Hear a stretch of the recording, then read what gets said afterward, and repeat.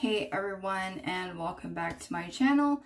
I figured today since I've got some things planned and I'm going to do a little bit of filming, we would do a little get ready with me and kind of go over some new products that I recently picked up from the drugstore. So a lot of these are all affordable, um, things that you can probably find at like Walmart, Target, um, maybe CVS or Walgreens. I'm not really sure. I didn't really look too deep in that. Um, first and foremost, you guys remember when ColourPop came out with their brushes? Well, I was unpacking a lot of my stuff when I was getting settled into the house, and I forgot that I had a roll of their brushes. This is the first one that came out, I think, before they came out with the second one. And I have not used these yet, so I'm actually going to be using them today. Like, they're literally brand new. When I say brand new, they're still in their like plastic wraps and everything. Oh, they're so pretty. I just love that light pink color. Also, another thing I want to point out, normally I'm not used to carrying like a huge makeup case. I used to have one of those ones that had the dividers in them and then the top fold had the, you know, pockets for the brushes in them. But right now, I'm actually using this. Ooh, I don't know if you guys remember these. These are the hard case. Um, makeup cases, when you open them up, they have like, you know, your folding compartments and stuff like that. Um, the reason why I'm using this a lot right now, and it's definitely my go-to um, compartment for all my travel makeup and stuff, is because my fiance's father gave it to me because it belonged to his deceased mother. And I was like, wow, this is kind of cool. And so I've been using it ever since then. Um, really just appreciating that this belonged to his mother at one point and you know to kind of honor um you know the fact that she's deceased. I i kept it and i've been using it ever since i i gotten it. It's been like maybe a week or two. So let's start this um makeup video. I've already washed and prepped my face. Um one of the things that i picked up was this uh wet and wild impossible um primer haven't used this at all yet. I've actually been waiting to use it with you guys. Um, let's see, it says the one silicone-free primer that does it all. That's a really big claim. Wet n Wild is definitely one of those more affordable brands. Um, so I really was interested by this. I tried to find that marshmallow one by, um, I think it's, I don't remember which one it was. It mattifies and hydrates. So that's a really contradictive claim. Um, mattifies, hydrates, it blurs pores, it preps skin for lasting makeup, and it's impossibly silicone free.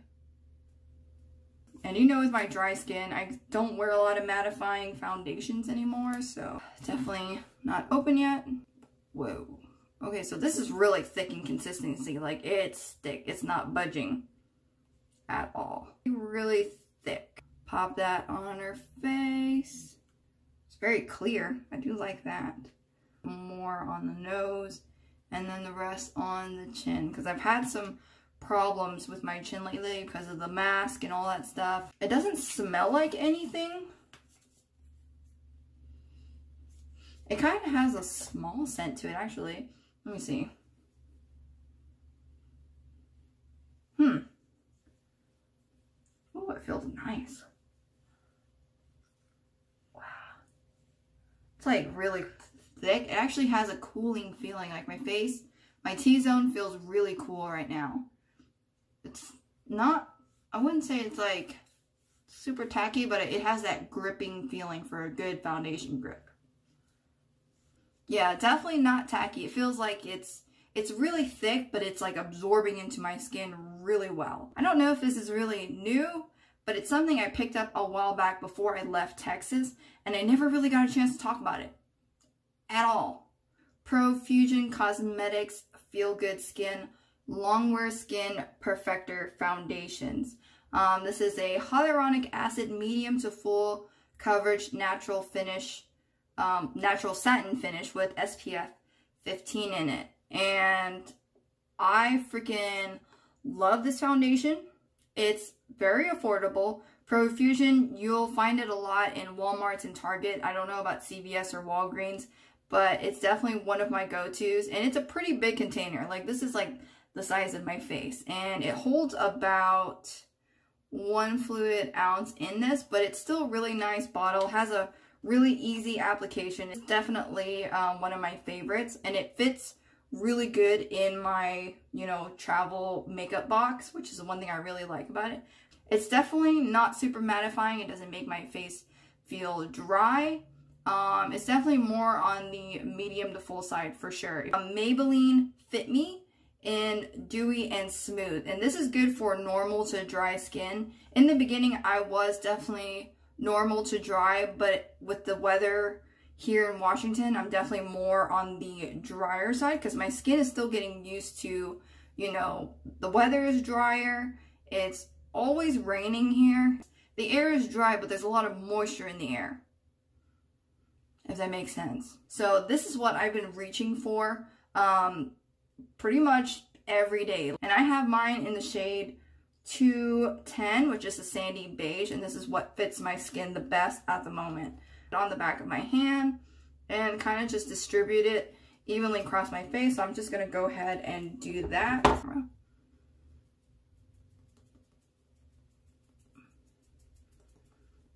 And when it comes to coverage, it's definitely just like the original uh, Maybelline formula, where it's definitely medium to full coverage. Um, for me, it has the type of coverage that I really like. Sometimes I'll just use it to spot conceal. See, half of my face is applied and the other half that's not.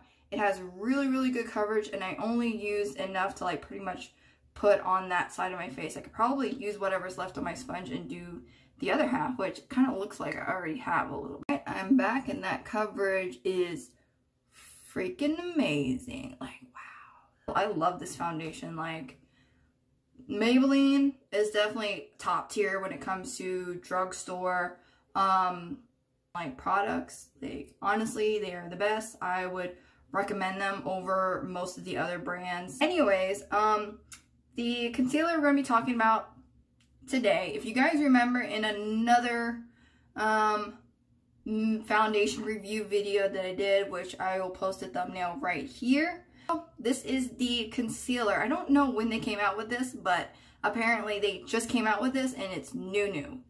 I could only get one shade, unfortunately, in the store because I feel like the store versus the online selection is always so small and so limited and like the shades just kind of jump. Like the different tones just like jump completely off the wall and I'm just like, there's only one I can really choose from. This is the hydrating concealer, also just like the the foundation. With this, you could definitely tell there was some separation between the concealer and some liquid at the top, so that's why I shook it. So I'm just going to go ahead and apply this very lightly to my inner corners.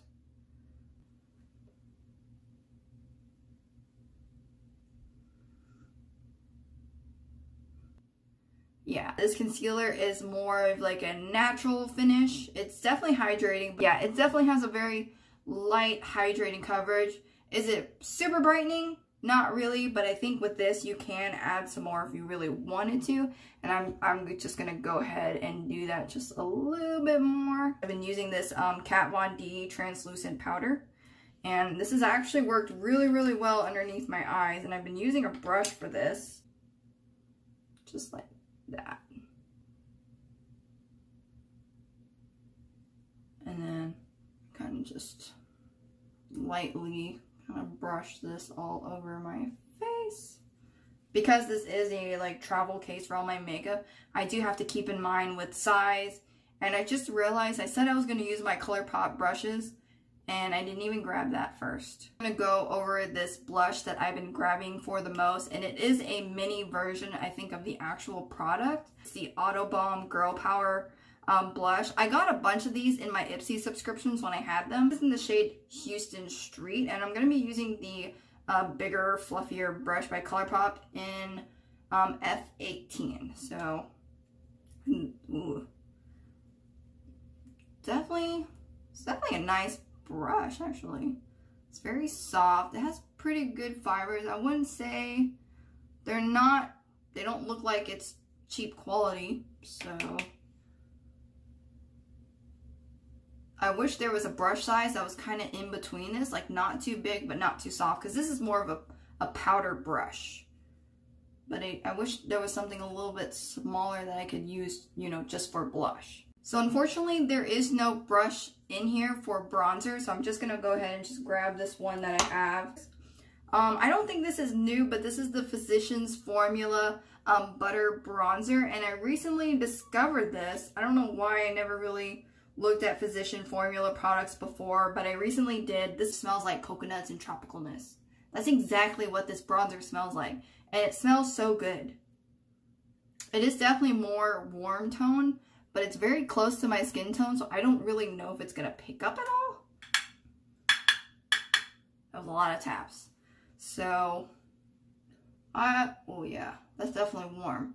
So I like to just drag it down my cheeks first, kind of give it a sculpt, and then pat a majority of that on, you know, my temples. It's definitely on the warm side. It's, it's, uh, on the camera, it looks really orange. Like, really, really orange. Holy crap. Okay. Well, we'll just make this work. And kind of just buff that out on my it's not bad.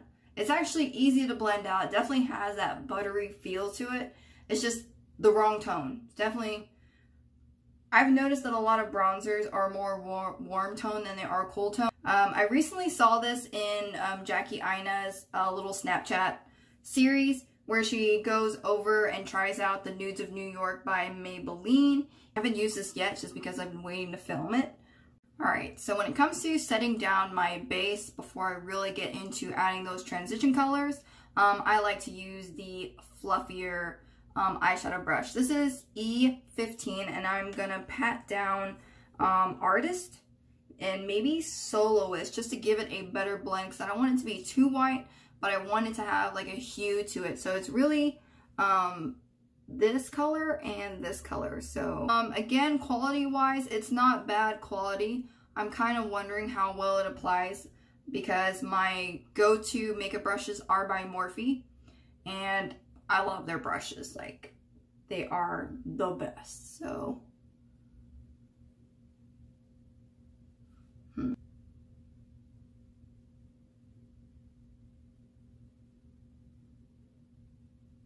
It's very soft. Very, very soft. I'm going to be using the E16. Um, that one is definitely a little more tapered. It's definitely shorter, not as fluffy as the other one. Or maybe I should go with this one first and then do this one. Or should I just go with this first and then this? Hmm, let's see. Yeah, I think I'm going to go in with Heroine next. Let me unblur this. Did I unblur it? Yeah, I did. Okay.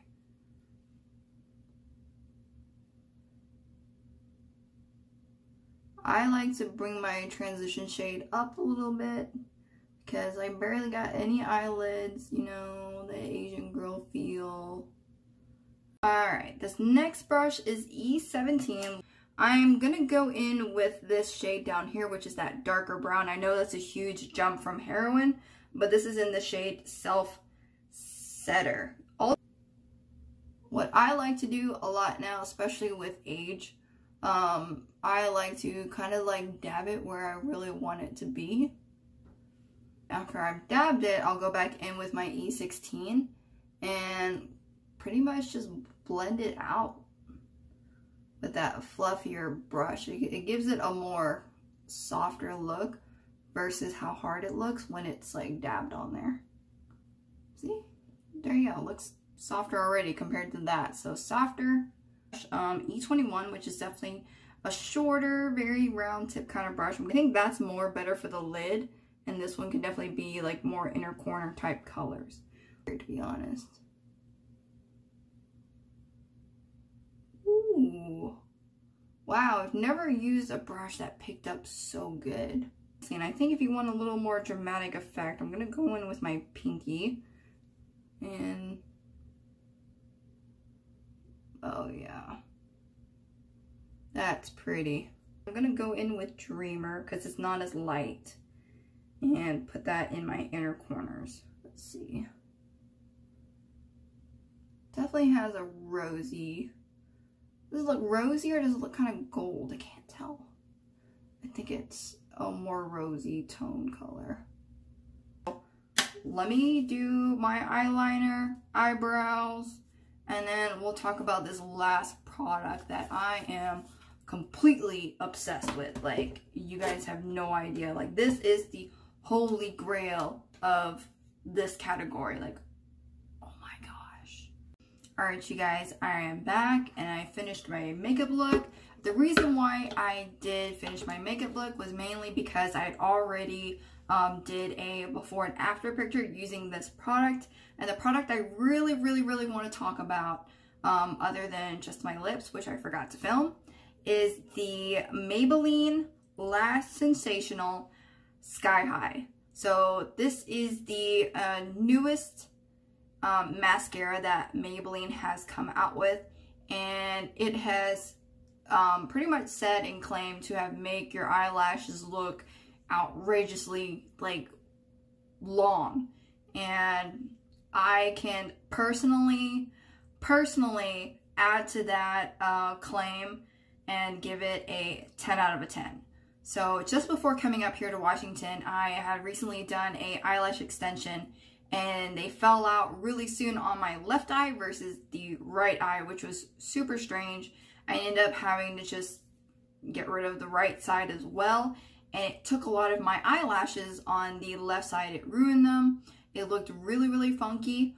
When I picked this up and decided to try it out, I was immediately shocked at how um, it added length and it actually added like the look of lashes on my non-existent lashes, if that makes any sense. Like it looked really, really good. So pretty much right here in this section right here, I will put the pictures of the before and after. You can definitely see the difference of like how bare it looked compared to the side where it was really full. On this side, I don't really have to worry about, you know, um, this side was definitely more fuller, which is why I put it more on this side, but I think I did a little before and after of both of them, bare and both with the mascara on.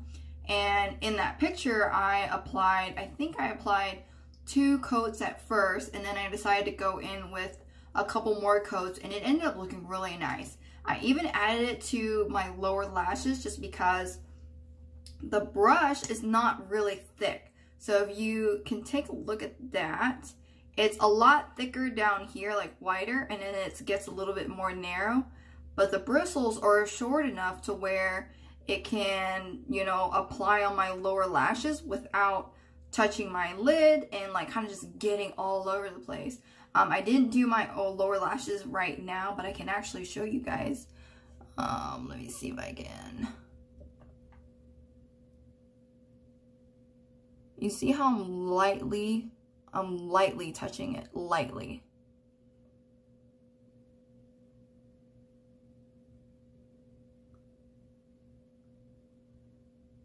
and it's really easy to maneuver. Like I could turn it this way and still be able to reach all corners and sides of my lashes. Like it applies really easily. It doesn't clump. Like I can easily go back in and fix it if I really need to. Like this side is like, there you go. Like, wow. And that's just very light of the hand strokes that I'm using. And it looks so good. Like this mascara is amazing. It's really amazing. And again, it is a drugstore product. It's very affordable. Like if you have not tried this mascara yet, try it. It took me a while um, to find it. And then when I came up here and looked around and I think it was, was it Fred Meyers or was it Walmart that had it? I think it was Walmart. They had it. I got it. Like, definitely the best investment. Like, this is my everyday mascara now. And the best part, it's easy to clean. It's not waterproof, but literally with just soap and water, it glides right off the eyelashes. It comes off really easily. It's, it's super nice. Super, super nice. And the one product I did forget to film was the Maybelline Lifter Gloss. I literally just put that on my lid. It is my lips. It is um, a gloss and it is tinted. Like you could see before uh, I finished my makeup how, you know, plain my lips looked. But this is, this is a game changer. I don't wear a lot of glosses. Um, up until like this past year, I've been obsessed with glosses. Like my favorite glosses are from Fenty Beauty, ColourPop. Like those are my top two favorite glosses. But now, now that Maybelline's come out with this baby, this is, oh yeah, this is definitely an affordable buy. And the best part, it's a thick applicator, just like, you know, just like the other brands. Let me pull out my Fenty one because I have it right here actually. So my Fenty one, also a thick applicator. I think the Fenty one is um, thicker and it's definitely a little different actually. Yeah. But I love it. Um, these smell like smackers. I don't know what it is about the Fenty one. I'm obsessed with these. This one doesn't have a scent to it. It's very light, but it smells like a lot of their other lip products. Kind of has like a chocolate scent to it, kind of. I don't know, but I love it. And it makes my lips feel so moisturized and it's just so like, oh my God. It's definitely not your everyday type of gloss. I really like this. It also has hyaluronic acid in it and that is one of my favorite ingredients of all time. This is in the shade Silk, which is 004. So if you find it, definitely grab it. I have another one, but it's in my purse. So anyways, that brings me to the end of our Get Ready With Me video. I hope you guys enjoy this makeup look. I miss doing makeups with you guys. Oh my god. Hopefully, hopefully soon I can do more of these again because I miss doing makeup with you guys. I really, really do. So until then, I will see you guys next time. I think the end of this video just kind of lagged a little bit, which was weird.